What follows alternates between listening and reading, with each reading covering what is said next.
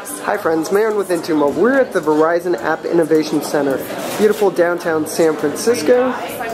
There's a nice view of Bay Bridge. Over here, let's go on a quick tour.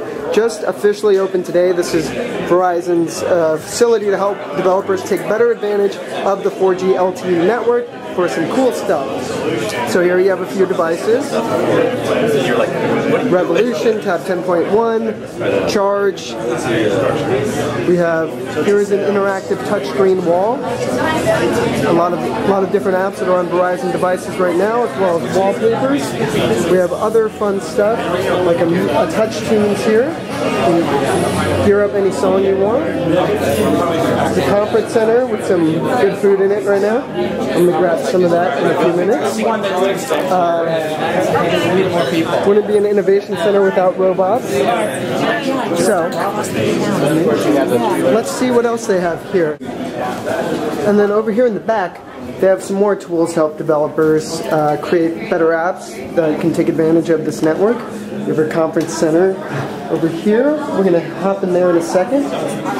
Inside here is an actual RF lab. So if you close this door, it gives you a, a full-on network of the 4G LTE as well as access to their Vodafone.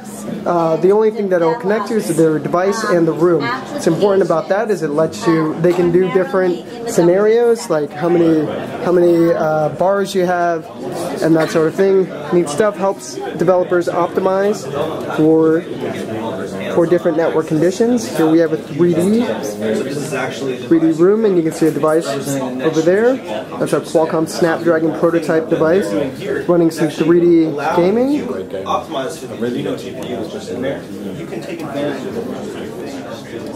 Please sign.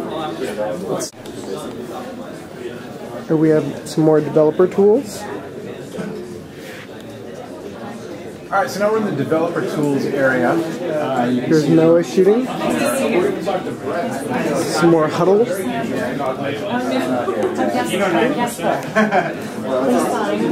so let's quick look at the Verizon Application Innovation Center.